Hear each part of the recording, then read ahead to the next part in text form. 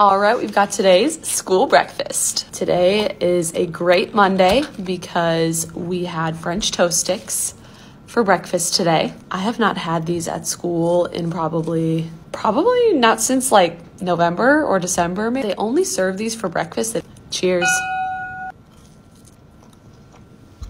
They're so good. They're just so good. Nothing compares.